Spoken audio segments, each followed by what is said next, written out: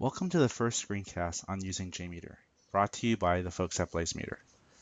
Now, suppose after watching the screencast, we want to see what the site performance will be when five users go right to the website. So they'll go to blazemeter.com and they'll probably scroll down, take a quick look around and see what BlazeMeter has to offer. And then they might want to obviously click the pricing to see what the prices are and scroll down and see. Now, let's go ahead and create that same load using JMeter. So what we'll cover is how to install JMeter and create a test plan using some of the basic elements of JMeter, thread groups, some configuration elements, a timer, some samplers, and listeners.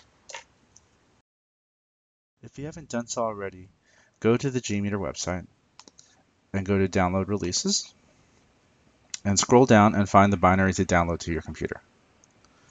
Once the download is complete, go ahead and move that file to a location you want to have JMeter installed.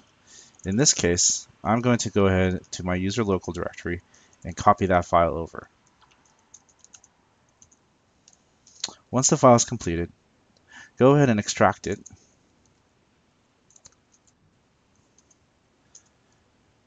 Let me clear the screen. Navigate into that folder and go to the bin. In that folder, you're going to see a series of scripts that will run JMeter in a couple in various different modes. Uh, over the course of the videos, we'll go ahead and cover some of these, but for now, I just want to start JMeter up and get started on writing a simple script to test out the BlazeMeter website. So based on OS, go ahead and write the uh, run the appropriate JMeter script. SH for my Mac, dot .bat for Windows machines.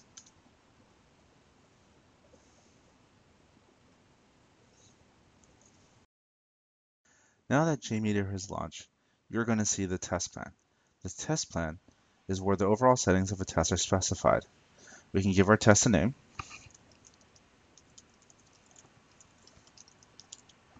Performance test. Let's add a comment. Um, first JMeter script. Then we have other options such as defining a user-defined variable. So let's go ahead and create one called site. And we're going to use blazemeter.com. And there are other options such as run thread groups consecutively. Um, if it's not checked, they'll run our thread groups in parallel. Thread groups determines the number of users JMeter will simulate when executing a test plan. So let's click on my test plan. Let's see, let's change that here. Right click on BlazeMeter Performance Test. Select Add Threads thread group. Here, let's give it a name. And we'll say BlazeMeter visitors. And I'm going to set this to stop the thread if an error occurs. And for right now, I'm going to set the number of users to 1. Since we want our users to simulate what our real user would use when it goes against the website, there are two additional elements we want to add. So right click on thread group and we're going to hit a config element and we're going to select the cache manager. The cache manager will basically control the user's cache within the scope of the test and then we'll add another one called the cookie manager. And the cookie manager will also hand manage cookies during execution and if we really wanted to do we could can define our own cookies as well. Now let's go ahead and add a sampler. The sampler performs the actual work in JMeter. So let's go to BlazeMeter Visitors and right click, select Add, and we want Sampler. Because we want to visit the BlazeMeter website, we're going to add an HTTP request sampler. There go. Let's go rename this to BlazeMeter homepage. And we want to set the server name. Because we're going to blazemeter.com, we're going to go ahead and place it here. However, if you remember back here in our test plan, we had created a variable called site, and it was set to blazemeter.com. So let's go back to our sampler and rename that. And we're going to use the site variable. Okay. Now we're going to add what is called a listener. The listener allows us to view the results of a sampler. So let's right click on the BlazeMeter homepage sampler and add a listener. And for now, let's select view results in a tree. Great. So let's save this, and let's call this Hello BlazeMeter, JMX, and we'll run it. And success. We can see the request to the BlazeMeter homepage. Request is made, blazemeter.com, and we'll get a response. And here's the text from the response. Down here, we can actually change how we view the response. So let's go take a look at the HTML. And that's the HTML we received. If we wanted to, we can also download the resources that came along. And we can get, the, for example, the images. Great. So let's have the next sampler, which was the pricing page. So to make this fast, I'm going to go ahead and copy this sampler and select the thread group BlazeMeter visitors and do a paste. And here it is again. But this time I wanted to go to the pricing page. Let's rename this to pricing page. And we're going to add slash pricing. All right. Let's clear the results again. And we'll run it. And it went to the home page and it went to the pricing page. Great. Again, the request blazemeter.com slash pricing. There's the response, the text, and we're going to change to HTML and we'll see the pricing.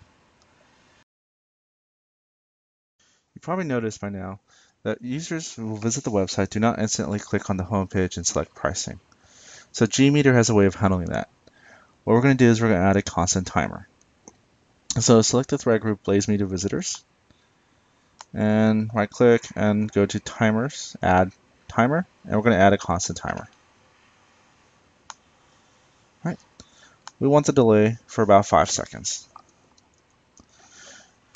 Now notice my constant timer is listed here at the bottom. This would actually have no effect to go from the BlazeMeter homepage to the pricing page. So I want to move this up. I can click on this and drag it up. And we want to set it just before the pricing page. So I want to select pricing page and then have insert before. So now when the test runs, it's going to go to the home page then it's going to wait for five seconds, and then it's going to go to the pricing page. Okay, let's go clear my results here for a second. And let's take a look and run the test. All right. So notice I went to the home page. It's waiting about five seconds. And there it is on the pricing page. Great. Now let's go ahead and increase the number of users go back to my BlazeMeter visitors and select the number of threads. I'm going to put it to five. And I'm going to increase the ramp up time because in reality, I don't expect all my five users to be within one second of each other. And let's go ahead and run the test again. Hit the screen, hit run. And you'll notice now that threads is five, and you can see them slowly ramp up. And one, two, three, four, five. Right, they've all hit the home page waits about five seconds, and they've hit the pricing page. Great, so now I have five users visiting the uh, BlazeMeter website. Now I'm going to make some adjustments to my script. Let me maximize the screen here. At the bottom of this sampler, there's an option called Retrieve All Embedded Resources from HTML Files. Go ahead and do that here, and I'm going to do that as well here. Now I'm going to run my test again. Watch the wrap up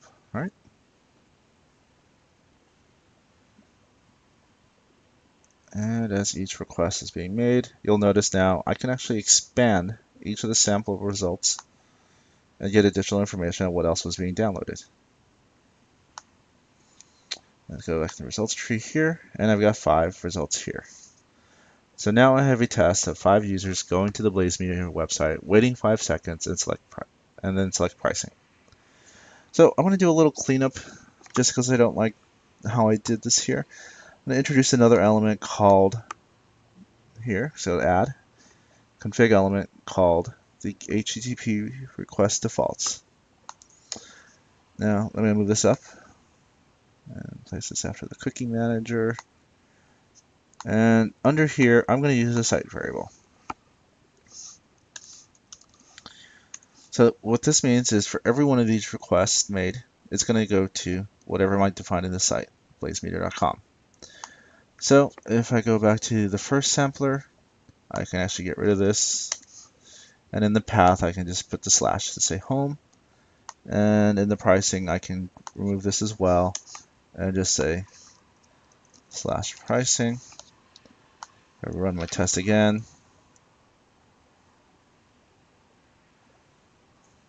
Get the sample request up and running.